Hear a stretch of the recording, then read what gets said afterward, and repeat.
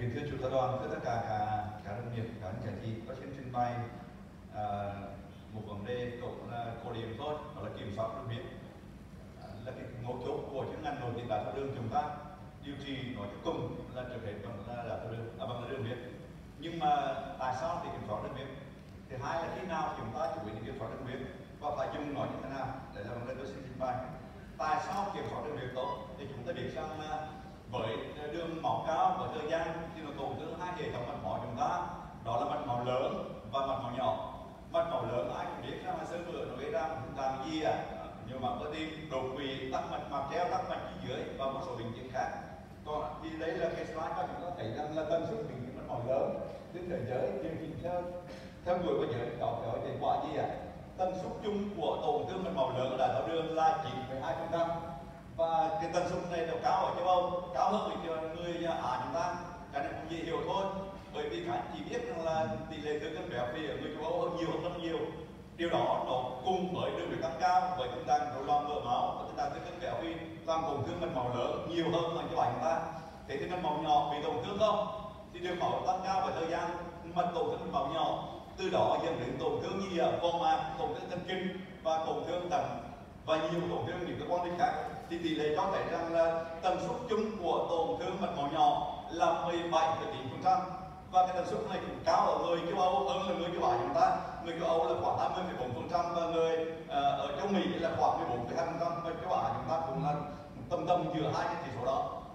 Thì tần suất biến chuyển mạch máu lớn và mạch máu nhỏ ở bệnh nhân đái tháo đường thì hóa như thế nào?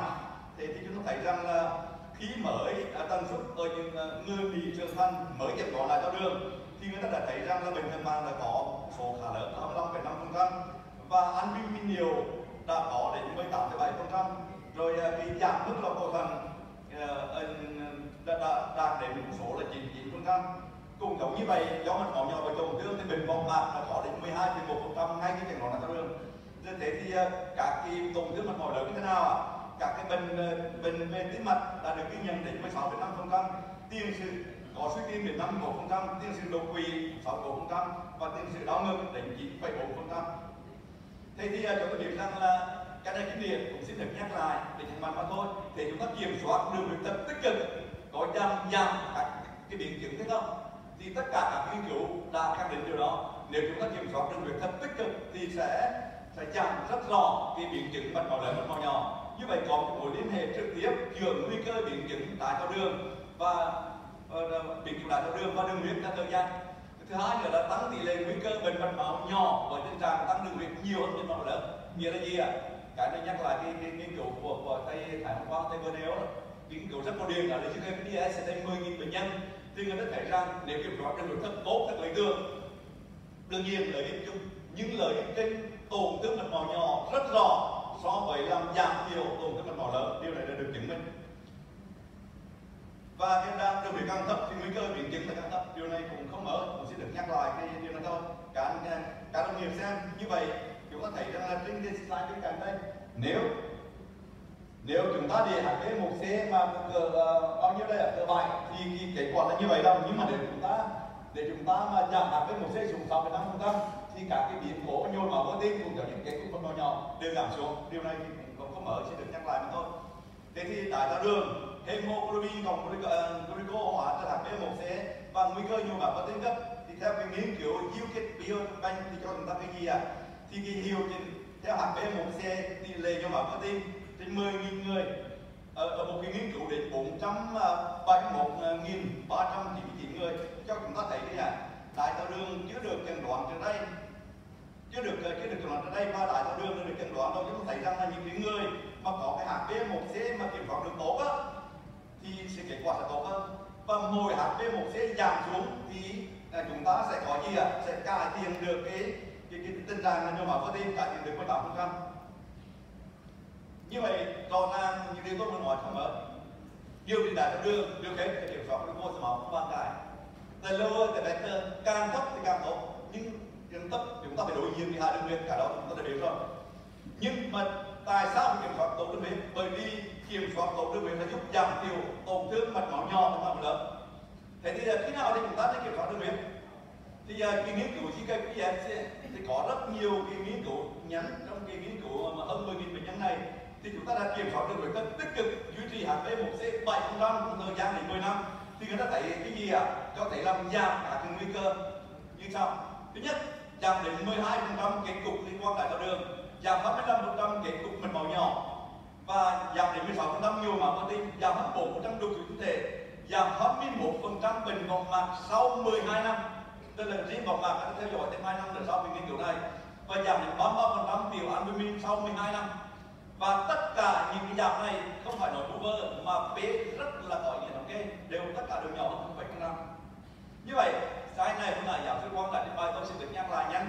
Tức là hiệu ứng của cái kế thừa thầy dùng cái chữ là trí nhớ chuyển hóa cũng có và có thầy có người dịch gọi là ký ức chuyển hóa. Ký ức chuyển hóa. Memory metabolism.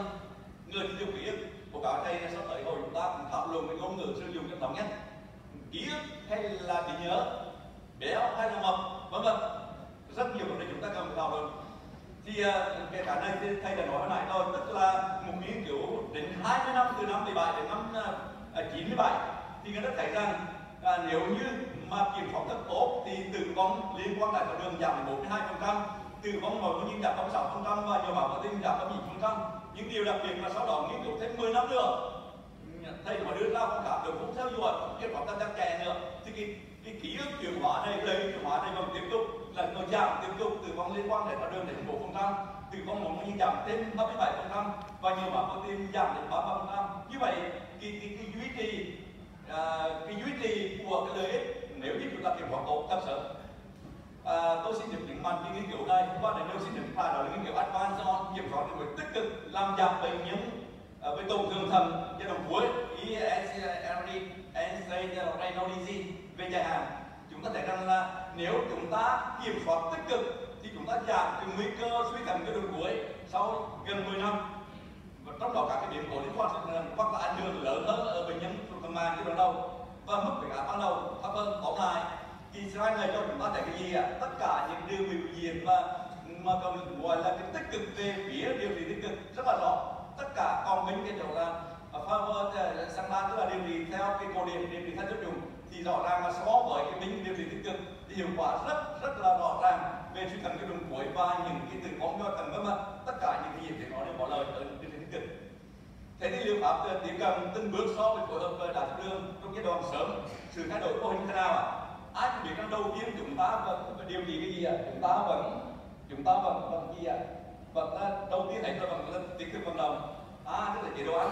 Sau đó chúng ta chọn tương tự là đơn trị liệu. Ờ, Ở b sau đó là chúng ta phối hợp nếu cái đơn trị liệu không hiệu quả nữa. Và sau đó gì ạ?